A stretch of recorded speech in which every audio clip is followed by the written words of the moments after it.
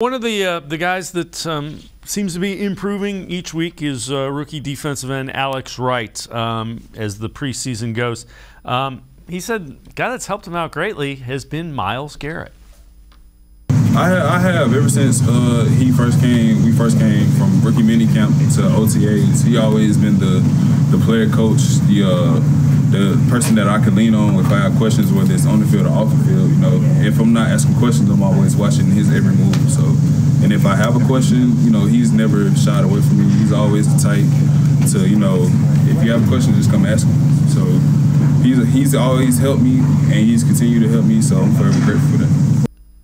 And uh, Casey, if you're going to go get help, a mm, couple of guys right next to you that are lining up in front of you during drills are the ones to get it from. That's exactly what you want to hear from him right now.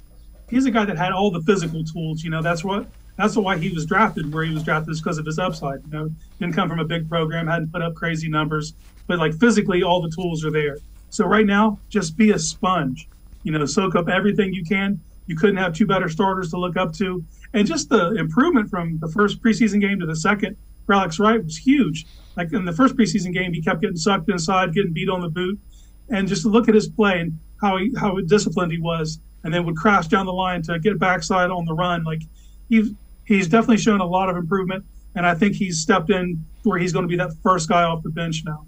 Yeah, and you know what? He he um, he looks like he can help. You know, a rot rotational piece. I, there are some things that you know look like he might be able to help.